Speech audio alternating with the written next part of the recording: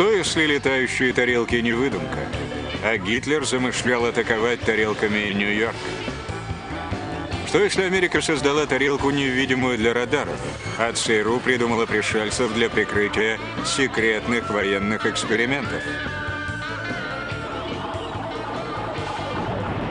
Сегодня вы узнаете, правда ли это. Это чистая правда. Вся правда о летающих тарелках. 50 лет мир сходил с ума по летающим тарелкам. Мы так часто их видели, что британец скорее поверит в пришельцев, чем в Бога. Совершенно секретно, но все намного сложнее. Летающие тарелки не выдумка, но они не прилетают к нам с других планет. Их родина Земля, а точнее секретные военные базы.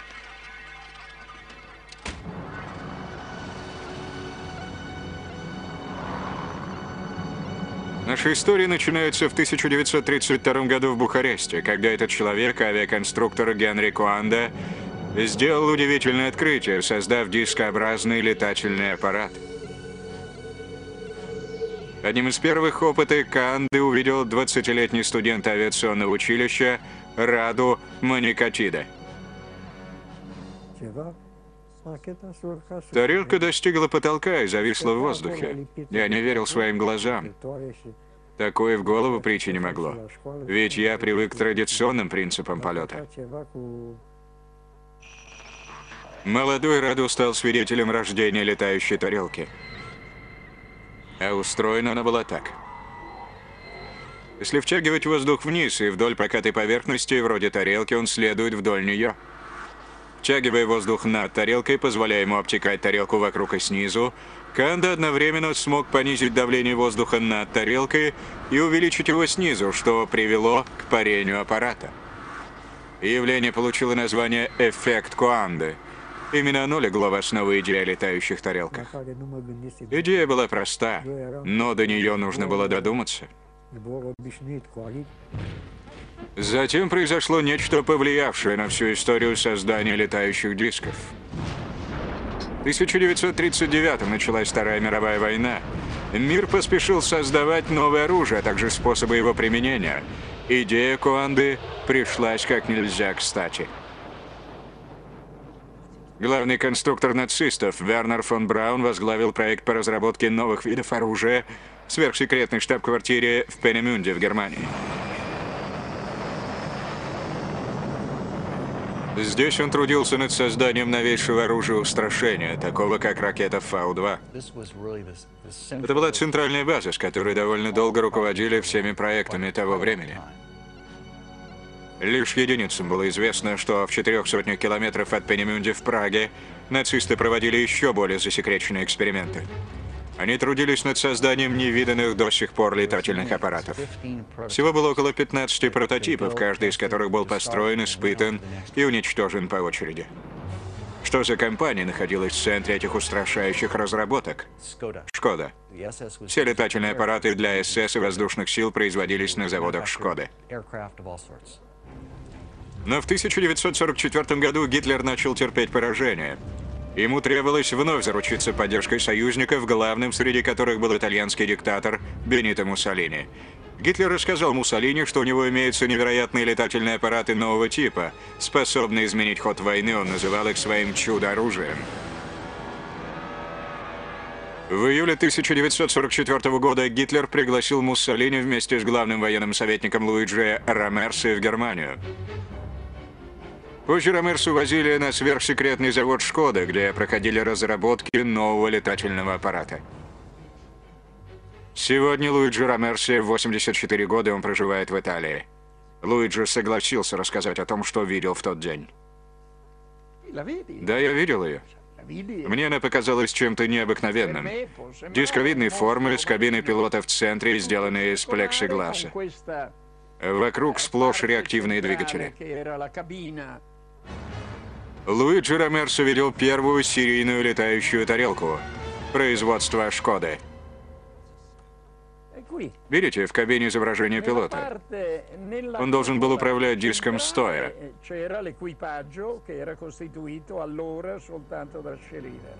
Это один из создателей летающей тарелки, инженер Андреас Эпп.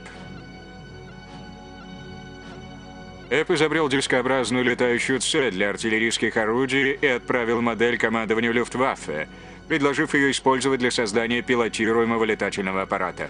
В этом интервью, записанном до его смерти в 1997 году и никогда ранее не показывавшемся по телевидению, Эпп поведал о своих подозрениях, что его изобретение украли. Я постоянно слышал о том, что в Праге продолжалась работа над созданием летающих дисков, и что был достигнут определенный успех. Разозлившись на то, что его работу присвоили, Эпп приехал на пражский испытательный аэродром, чтобы выяснить, что там происходит. У меня была с собой фотокамера. Неожиданно в небе появился летающий диск.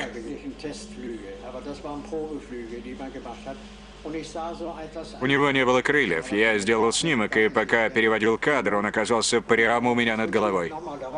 Тогда я сделал второй снимок, уже вполне убежденный, что эта машина собрана по моим чертежам. Эп пришел в негодование от мысли о том, что его творение похитили.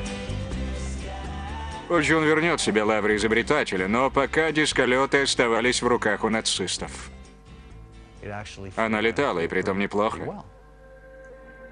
Вот как выглядела немецкая летающая тарелка. Основным ее принципом был эффект Куанды, согласно которому над кораблем возникала область низкого давления, буквально втягивавшего его вверх. Но она также сочетала в себе и другие новейшие технологии, вроде вертолетной схемы и реактивного двигателя. Она была быстрой, универсальной, в принципе могла нести на подвеске значительный груз бомб. Но, вероятно, самым главным ее качеством, столь ценным для страны, потерявшей много взлетных полос ходе бомбардировок союзников, был вертикальный взлет. Тарелки взлетали по принципу вертолета. У них были вращающиеся лопасти, расположенные под днищем аппарата, приводимые в движение теми же реактивными двигателями, что толкали ее вперед.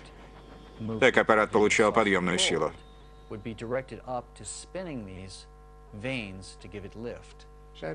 Их планировали использовать для бомбовых ударов. Все, что строилось те годы, предназначалось для разрушения.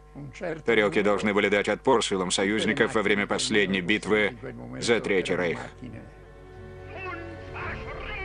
По словам Ромерса, Гитлер в отчаянии замешательстве планировал использовать свое секретное оружие для сокрушительной атаки на Нью-Йорк.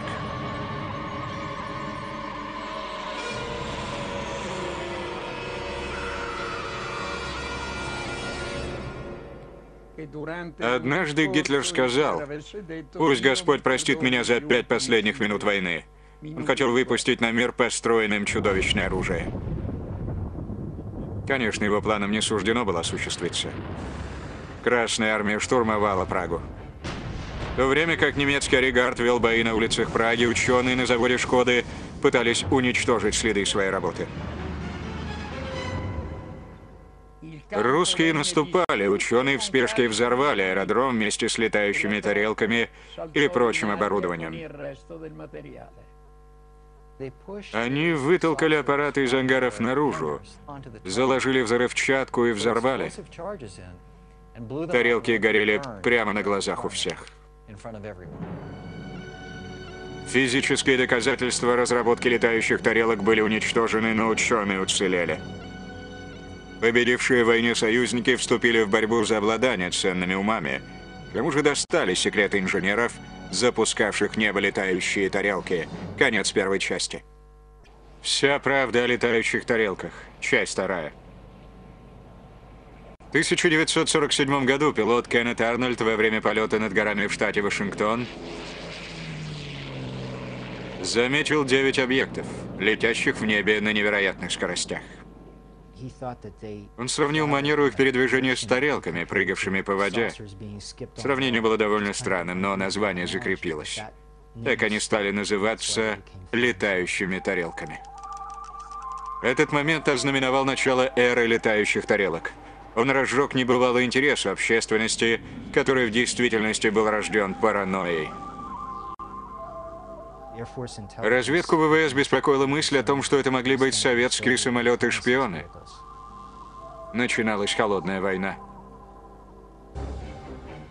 Восток и Запад устраивали публичные демонстрации силы, выставляя на показ новейшие образцы оружия. Но параллельно велась и другая, секретная война за обладание научными достижениями и учеными нацистов. Кто бы ни получил эти технологии, оставшиеся от Второй мировой, ушел бы далеко вперед в военно-техническом прогрессе. Между странами-союзниками России, Франции и Великобритании началась борьба за технологию, созданную нацистами. Вот почему правительство США так обеспокоили летательные аппараты, которые увидел в небе американский летчик Кеннет Арнольд. В этом секретном документе из архивов ФВС говорится, что это доказывает, что Россия получила немецкую технологию производства летающих дисков и даже строила их. Немецкие технологии настолько опередили американские, что американцы решили, если русским удалось заполучить ученых или чертежи этого секретного оружия, значит они теперь впереди. И догадка американцев оказалась верна.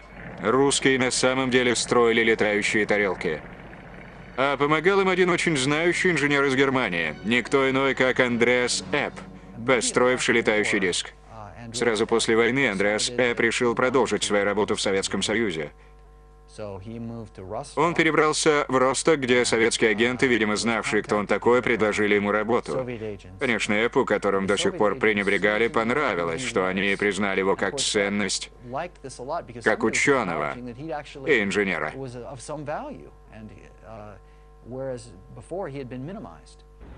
Эп работал в основном над системой управления советской летающей тарелки. Его работа была сосредоточена на управлении кораблем. Другими словами, он должен был добиться того, чтобы аппарат слушался управления. По словам Эппа, созданный русскими летательный аппарат был невероятно маневренным и предназначенным для полетов в разных условиях. Иначе и быть не могло. У нее был реактивный двигатель. К тому же им нужна была тарелка, которая могла бы летать в полярных условиях. И причина тому была очевидной. Кратчайший путь в Северную Америку пролегал над Северным полюсом. И Америка, охваченная паранойей, не могла не отметить этот факт. Даже в Голливуде считали, что русские замыслили нечто коварное. Страна, которая достанется секрет летающей тарелки, получит контроль над небом. Это не должна быть Россия. Множество тарелок были замечены именно в северо-западной части США. Они появлялись рядом с заводами Боинга в Сиэтле, где строились все американские бомбардировщики, а также у ядерной лаборатории Ханфорд в штате Вашингтон, где производился плутоний для ядерных бомб. Тарелки видели над всеми стратегическими объектами США. К тому же этот район США был ближе всего к территории Советского Союза. Именно здесь ожидали появления самолетов-разведчиков. Тарелки стали появляться повсюду. От них не мог укрыться ни один крупный город, ни одна съемочная площадка. Правительство решило полностью искоренить слухи о тарелках, для чего специалистами психологической войны Пентагона был разработан изящный план в двух частях. Первая часть заключалась в том, чтобы высоко поставленный военный чиновник полностью опроверг факт о существовании тарелок. Но параллельно предполагалось запустить слухи о том, что тарелки прилетели на Землю из космоса. Послание передано. Что теперь? План был пущен в действие на пресс-конференции в Пентагоне в июле 1952 года. Это был решающий момент в истории с тарелками. Пресс-конференцию проводил генерал-майор Джон Сэмфорд, начальник разведки ВВС США. Задачей Сэмфорда было отрицание какой-либо важности сообщения о замеченных летающих тарелках. Вся эта информация не содержит никаких признаков, никаких указаний на то, что это можно было бы считать угрозой для безопасности США. Чтобы поддержать теорию об инопланетных захватчиках, военные привлекли автора фантастических рассказов майора запаса Дональда Кихоу, который поддержал позицию Сэмфорда. Майор Кихоу, каково ваше мнение, как автора книги «Летающие тарелки. Реальность» о новых случаях встреч с НЛО? При всем уважении к ВВС должен заявить, что считаю их объектами внеземного происхождения. Очень умный ход и крайне простой. Теперь каждый, кто заметит в небе военную тарелку, решит, что она с другой планеты. Она была около 12 метров в длину, а остальные над ними просто посмеются. Я видел ее так долго, что уверен в этом. Пресса с энтузиазмом взялась за рассказы о пришельцах из космоса. Тот же номер журнала Life, что сделал звезду из Мерлин Монро, сделал популярными многих чудищ с Марса. Never before has the screen reached such heights of excitement. Рассказы Дональда Киха улегли в основу фильма «Земля против летающих тарелок», снятого легендарным голливудским мультипликатором Рэем Харрихаузеном. Идею я почерпнул из его книги о летающих тарелках. Насколько я знаю, правительство проводило опыты по созданию дисковидных летательных аппаратов. Они держались в тайне. К тому же правительство поддерживало слухи о том, что тарелки были внеземного происхождения.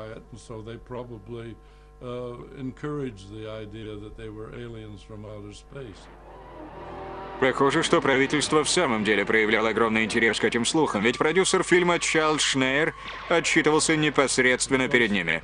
Как только сценарий был написан, его у меня забрали. Я уверен, что Чарльз сразу передал его верхам, а также различным космическим спецам.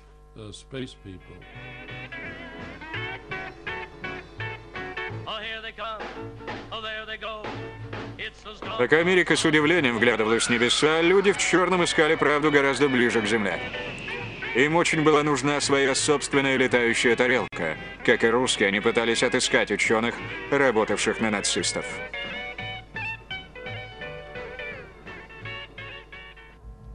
Кое-где американцы все же добились успеха. Они поймали ведущего конструктора нацистов Вернера фон Брауна и сделали его бесценной частью американской военной машины. Им также досталась львиная доля технологии и производства ракет Фау-2. Играя с новыми игрушками, скорее с энтузиазмом, нежели с умением, они сознавали, что в их арсенале недостает одного — немецких летающих тарелок. Похоже, что ВВС были обеспокоены тем фактом, что русские ушли вперед. Нам нужны были собственные тарелки, чтобы уравнять счет.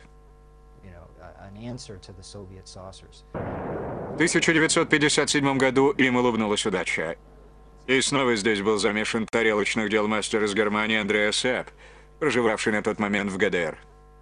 В какой-то момент он выпал из жизни в ГДР. Не знаю, что стало причиной, возможно, развод. Как бы то ни было, он оказался на Западе. Он пересек границу и признался, что шпионил для Советского Союза и теперь хочет все рассказать им. Американцы тут же бросили его за решетку и начали допрашивать.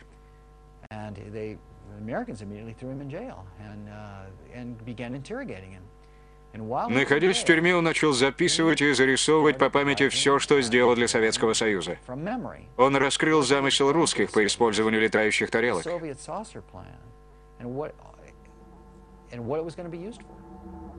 Заручившись помощью ЭП и других ученых, американцы всерьез взялись за создание летающих дисков. Вот интересный факт. В конце 50-х, начале 60-х годов почти все крупные заводы авиакосмической промышленности, включая Boeing, Conver, Lockheed и North American, разрабатывали летательные аппараты дискообразных форм для различных целей. Это калифорнийское отделение Локхеда, старейшей семьи, где родилось немало великолепных новинок. В Локхиде также трудились над созданием летающих тарелок для ВВС США. У всех дисколетов был центральный двигатель, направленный вниз. Аппарат взлетал вертикально, тут же переходил в горизонтальный полет, мог разгоняться до высоких скоростей и летать на высоте более 30 километров. Для того времени это была передовая технология.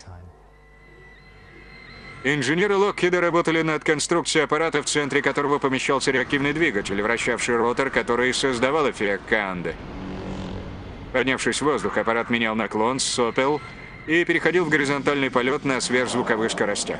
Однако Локхед был не единственным производителем, развивавшим новую технологию. В 50-х и 60-х годах Конвер являлся одной из крупнейших авиастроительных компаний. Как и у Локхеда, у Конвера имелись и секретные проекты, и представитель для общественности в лице голливудского актера Джеймса Стюарта.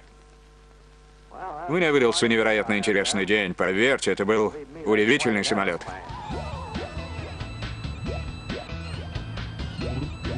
В 50-х и 60-х старшим инженером Конвера был Боб Видмер. Был одним из главных команде, создавший истребитель Б-58 «Хаслер». В начале 60-х это был самый быстрый самолет на Земле. Он поразил меня. Еще бы, эта птичка летает на скорости 2 маха. Это значит два раза быстрее скорости звука.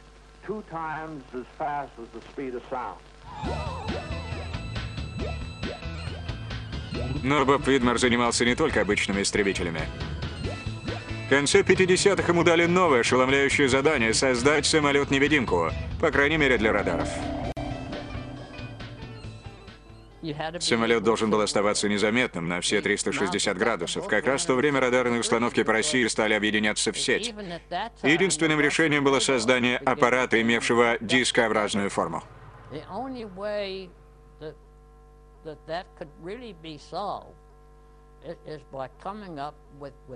Thing that was uh, shaped hmm, like a disc hmm, or, or a discus. Hmm? Другими словами, Боб должен был построить летающую тарелку. Ведь военные понимали, что лучшей формой для самолета-невидимки является диск.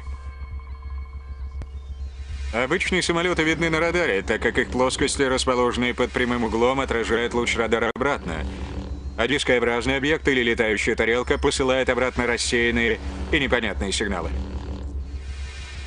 Перспективы создания самолетов, невидимых для радаров, вызвали огромное волнение в высших военных кругах, и однажды в дверь Боба постучали некие таинственные лица. Когда они пришли ко мне в первый раз, я даже не знал, кто они. Мне никто не сказал, мы из ЦРУ. Вот наши жетоны. Меня сделали членом клуба. Я не знал, что они пришли из ЦРУ. Сразу ясно, что проект был чертовски секретный. В действительности ЦРУ действовало куда скрытнее, чем обычно. Ведь они боролись не только с врагами государства, но и с секретными подразделениями ВВС США за право создавать самолеты-шпионы. Боб с неохотой согласился участвовать в проекте по созданию невидимого для радара дискообразного летательного аппарата. Я бы ни за что не согласился на такое снова. Жить в такой атмосфере ни за что. Я не мог общаться ни с кем, кроме узкого круга лиц в установленных местах.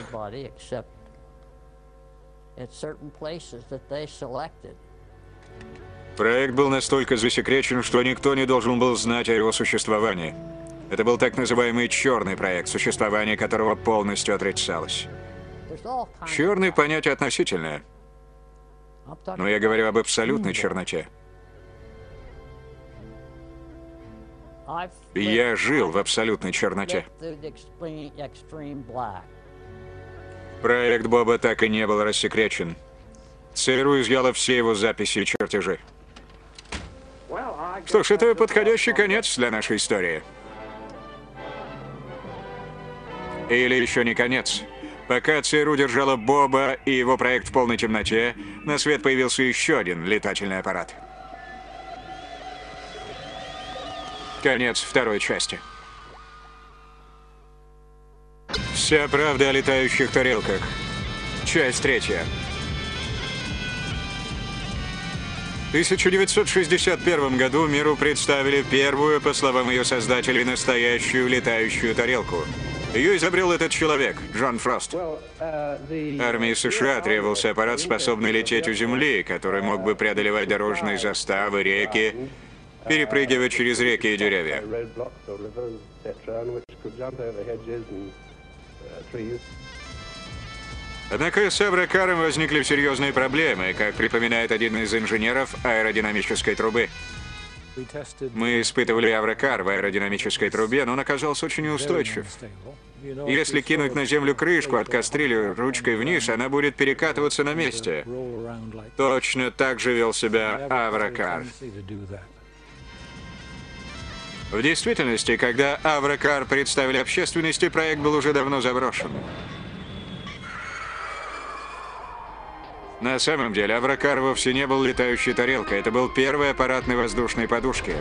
Он являлся всего лишь побочным продуктом другого, гораздо более секретного и амбициозного проекта, который имел непосредственное отношение к летающим тарелкам. Небольшой вопрос. Вы верите в летающие тарелки? Да, но не в том смысле, как те, кто считает их пришельцами с Марса.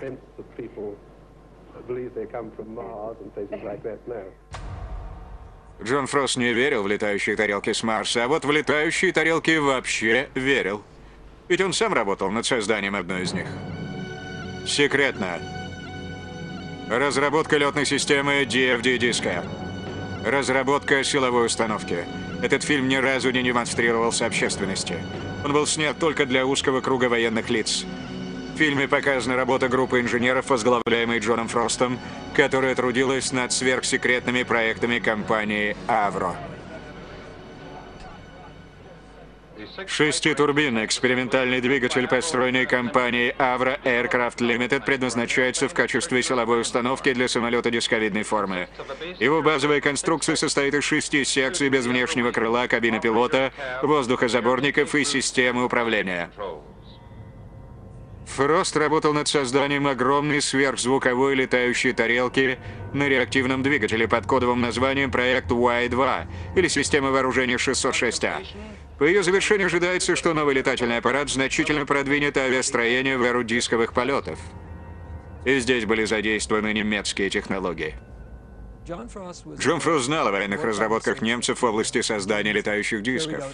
Возможно, они лежали в основе всех летательных аппаратов, замеченных в разных точках земного шара. И почти одновременно с этим ЦРУ начало финансировать исследовательские работы по созданию концепции летающей тарелки, которую они хотели построить. Военные пришли в восторг от идеи, предложенной Фростом. По замыслу технические характеристики летающей тарелки позволяли ей летать выше и быстрее любого летательного аппарата или системы вооружения. В документах ВВС четко не оговаривается назначение аппарата. Там упоминается возможное его использование в качестве боевой разведывательной машины. Согласно замыслу, летающий диск Авра должен был обладать такими летными качествами, которые позволяли бы ему легко преодолевать любые средства ПВО и уничтожать любые самолеты.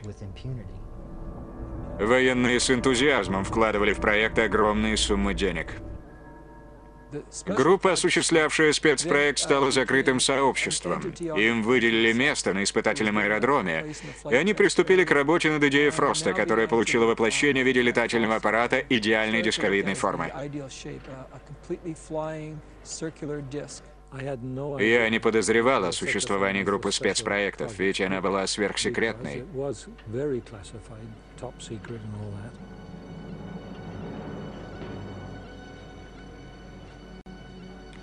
На входе всегда стояла охрана.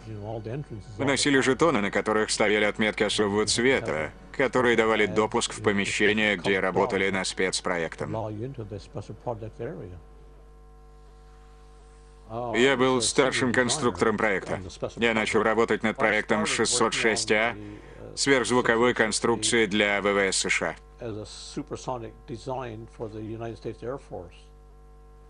Аппарат, над которым он работал, являлся самым секретным проектом за всю историю авиастроения. Это был аппарат ровной дисковидной формы, летающий диск. Фрост никогда не отходил от задуманной им формы. Это всегда был диск, так как он считал его идеальной формой, позволявшей делать вертикальный взлет. Однако на самом деле фантастическая летающая тарелка Фроста была далека от воплощения в реальность. В его конструкции самым простейшим образом применялся эффект Куанда, и тарелка имела шесть мощных реактивных двигателей, всасывавших воздух над тарелкой, что давало ей подъемную силу и невероятную маневренность. Однако испытания аппарата и шести его мощных реактивных двигателей оказались непростым и, главное, опасным делом. Рэя Такучи назначили ответственным за сооружение полномасштабной испытательной модели. Сначала он был шестиугольной формы. Затем мы установили на него оборудование и всю начинку для 606А, включая двигатели и лопасти. inner portion of the 606A on there with the Viper engines and also the fan. Каждый вращательный узел состоит из верхнего и нижнего колец лопаток компрессора и центрального кольца лопаток турбины. Турбинные лопатки совмещены с вытяжным каналом, встроенным в неподвижную часть конструкции. В каждой секции установлен двигатель Armstrong Sidley Viper, служащий газогенератором для центрального турбокомпрессора. Это был полномасштабный летательный аппарат, построенный внутри бетонного здания. Его целью было испытание двигателей систем будущей системы вооружения 606А. Эти тарелки должны были обладать потрясающими летными качествами, так как двигатель был огромным, почти 10 метров в диаметре. С таким объемом он должен был иметь подъемную силу, которая позволяла ему совершать полет на скорости 300-500 км в час, согласно их подсчетам. Попадая в компрессор и проходя по внутреннему крылу, воздух выпускается через систему регулируемых сопел. Наступило время испытаний, в ходе которых они пытались сдержать на Земле самый мощный сверхзвуковой самолет в истории авиации. Это было опасное задание. В целях безопасности роторная секция аппарата закрыта стальным заграждением на время испытаний. Когда Джон Фрост вывел двигатели на полную мощность, всех людей из здания тут же эвакуировали из-за опасности взрыва. Одних лишь топливных баков тарелки хватило бы на то, чтобы уничтожить все здание. uh. The entire building would, in fact, be destroyed. Момент был ужасным. Двигатель вышел из-под контроля и грозил уничтожить весь проект. Один из инженеров, находившихся на испытаниях, вошел в здание и просто отсоединил топливопровод от работавшего двигателя. Двигатель постепенно остановился.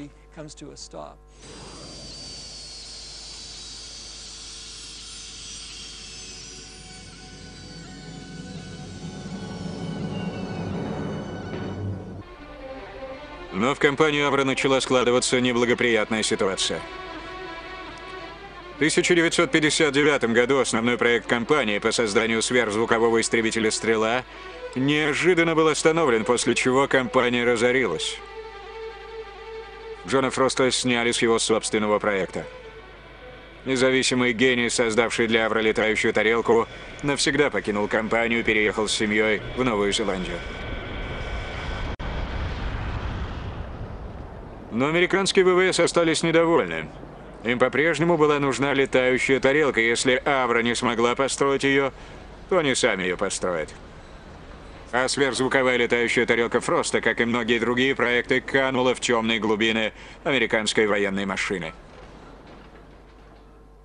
Последнее, что я слышал, проект 606А перешел к компании Bell Aircraft в Форт Эри.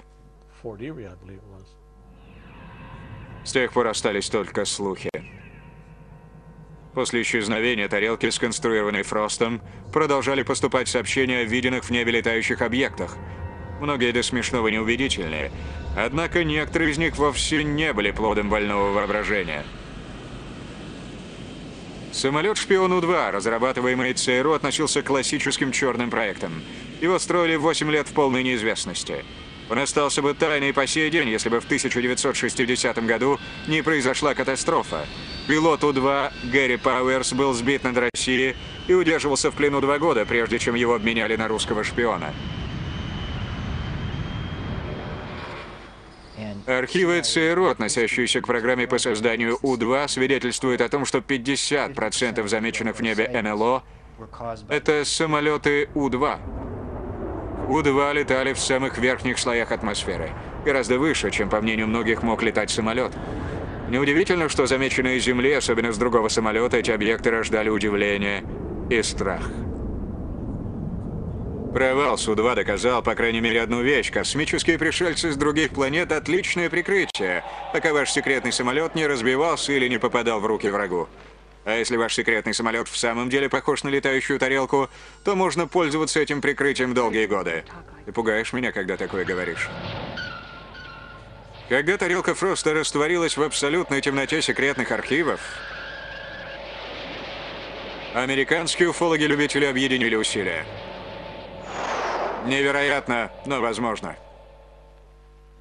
На пресс-конференции в Вашингтоне, организованной частной неофициальной группой, известной под названием Национальный комитет по расследованию воздушных феноменов, возобновился давний спор с ВВС. Комитет стал основным выразителем теории об инопланетных летающих тарелках. Возглавил его все тот же писатель-фантаст, который впервые подал идею о пришельцах на пресс-конференции в 1952 году. 14 лет спустя он по-прежнему гонялся за зелеными человечками. Руководитель комитета майор запаса Дональд Кихоу настаивал на том, что ВВС известно больше, чем они говорят. За нами вел наблюдение некий аппарат, паривший над нами, возможно, управляемый представителями некой развитой цивилизации.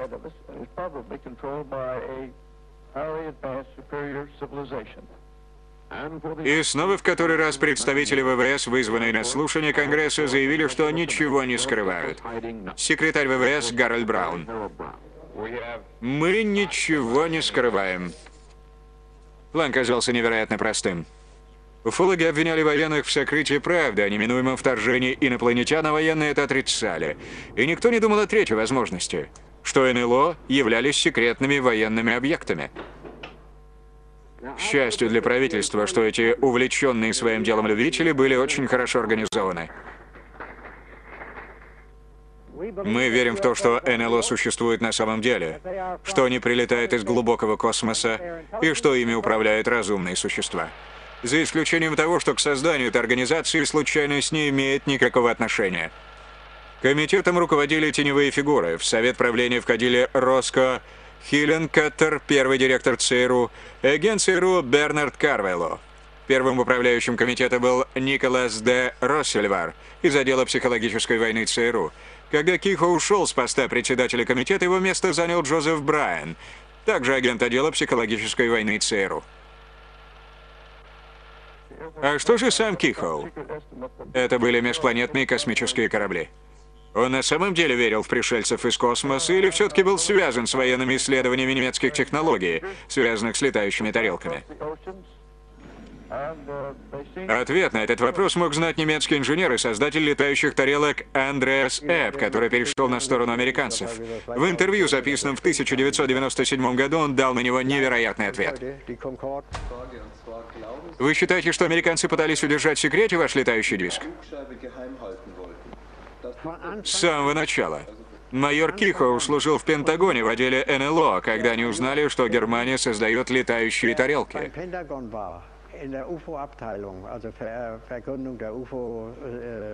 So weiter.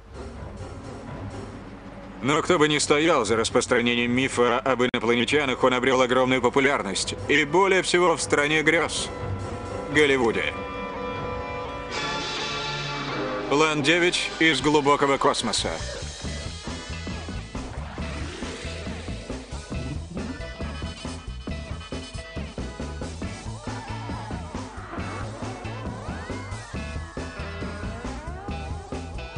Бетфордширское уфологическое общество.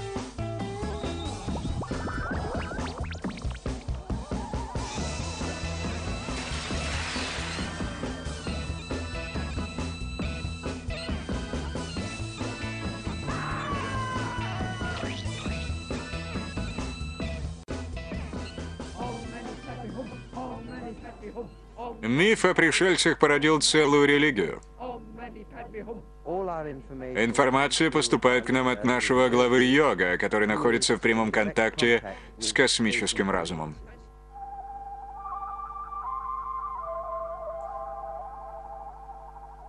Мы друзья. Мы друзья. Мы ждем контакта. Затем 11 ноября 1987 года контакт случился. Все началось с момента, когда преуспевающий бизнесмен Эд Уолтерс увидел над своим садом странный свет. Он схватил фотоаппарат и сделал этот снимок. Это был первый из целого ряда объектов, замеченных в небе за последующие годы. О боже! Я слежу за ним через объектив. Когда кадры увеличили, на них оказалось нечто поразительно напоминавшее летающую тарелку. Тарелки видели сотни человек, начиная с полицейских и заканчивая священниками. О нет, смотри, смотри, что это? Некоторые более впечатлительные очевидцы утверждали, что видели самих пришельцев.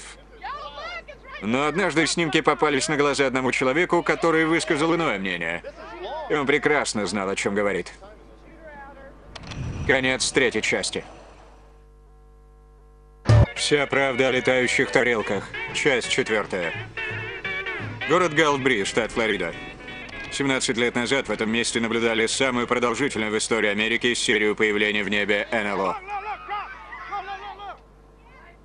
Сотни людей, видевших объекты, были твердо убеждены, что наблюдали космические корабли внеземного происхождения, но один человек был уверен в другом.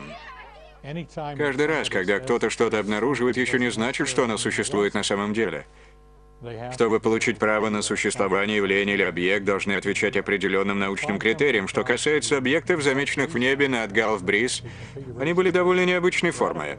Внизу был виден льющийся свет, явно источавший тепло. К тому же светящаяся часть была круглой формы. uh, uh, as though it was hot and uh, and not only that but it was circular in configuration Бойд Бушман решил, что знает, на каком принципе основан летательный аппарат. Он узнал его, так как сам работал над подобной технологией. Бушман 35 лет конструировал оружие. Он разработал прототип ракеты «Стингер», прежде чем перешел в Локхит, центр разработки военных летательных дисковидных аппаратов. Там он вместе со своей группой ученых приступил к экспериментам с совершенно новым источником энергии. Это всего лишь 250 мотков проволоки. 150 turns of Мы взяли концы и подали на них обычное напряжение.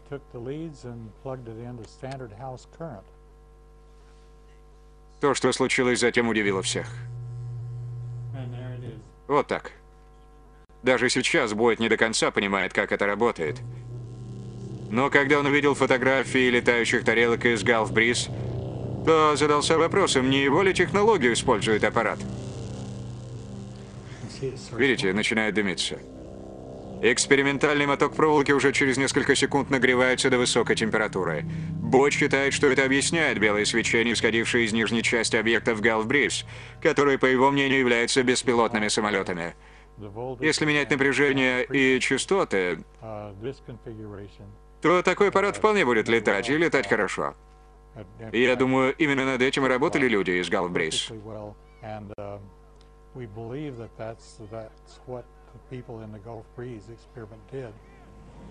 Так кто они были?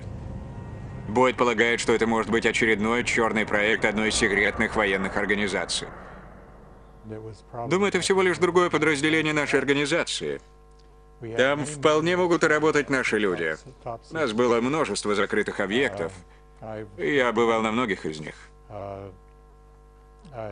did Свое открытие я сделал не случайно. И они вполне могли сами совершить то же, что и я.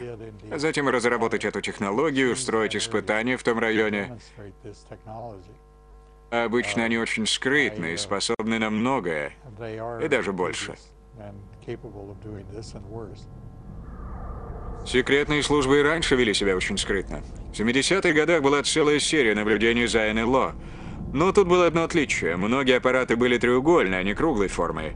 Слухи в рядах очевидцев НЛО стали разгораться, словно пожар. Но затем на сцену выступил этот человек. Его имя Джим Гудау. И в настоящее время он смотритель музея авиации в Сиэтле. Но в свободное время он занимается другими делами. Я часто езжу в лес, когда есть время. За последние 15 лет я был там раз в 80. Джим посещает засекреченные военные авиабазы, чтобы фотографировать в воздухе детище черных проектов. Чтобы сделаться незаметным, нужен автомобиль нейтрального цвета. Кроме того, я набрасываю на машину маскировочную сетку для защиты от инфракрасных приборов. Затем немного веток сверху, и никто не замечает ничего подозрительного. Sagebrush on top of it, and they look around, they don't see anything that's obvious.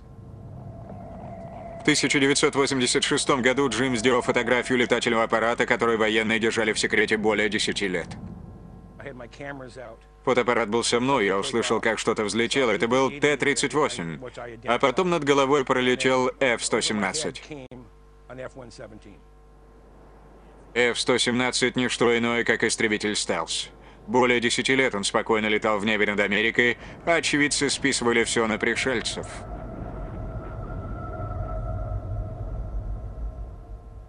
Я отснял все 36 кадров пленки, и два кадра получились нечеткими.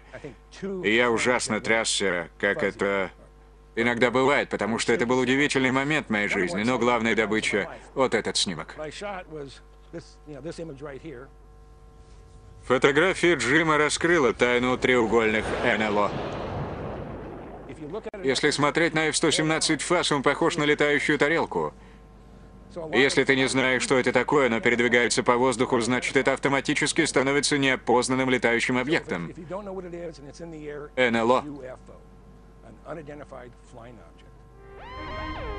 Последующие годы наблюдения за треугольными НЛО прекратились, но круглые летающие тарелки продолжали тревожить воображение очевидцев. Всего месяц назад мексиканские ВВС опубликовали кадры, заснятые пилотами с использованием инфракрасной камеры. Несмотря на то, что в видимости камеры оказались 11 объектов, на радаре их появилось всего три. Неужели прибыли настоящие инопланетяне?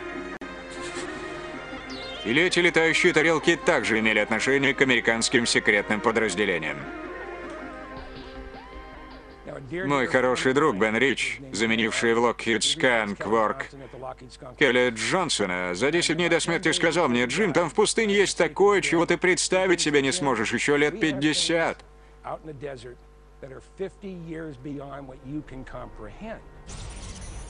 Lockheed Skunk работало около 450 человек. Чем они там занимались последние 20 лет? Явно что-то строили.